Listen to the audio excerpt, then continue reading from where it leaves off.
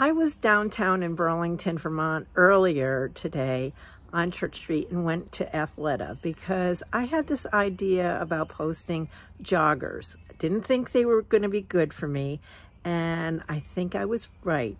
But let me just show you a little bit of my experience. What's your name? Carol. Carol is going to guide me through. So I've been told um, that I, I just have tried the wrong sizes on or the wrong style. So here we go. The next one is navy. And what's the fabric on this, Carol?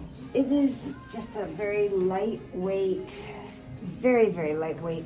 Um, uh, it's a, uh, like a Tencel, like a it's a recycle and okay. Um, and it's a dress jogger. Yes, and it's dress. And These this are like a ripstop hiking pant, the North Trekkie North. And I think this could and be dressed up or down. Stretch. Okay, and, so this one feels like heaven, and it's called the Salutation Jogger. Yes, and it's made it's made with the uh, yoga pant material. Okay. The pant. Here's another city pant, and this is a Celadon color. It looks like gray in the video. Last but not least. Same green. This is the Farallon jogger. And again, stretchy. That's the nice thing about all these pants. They're okay, here we go. Just as I thought. For me, it's a no-go. Still, terrible.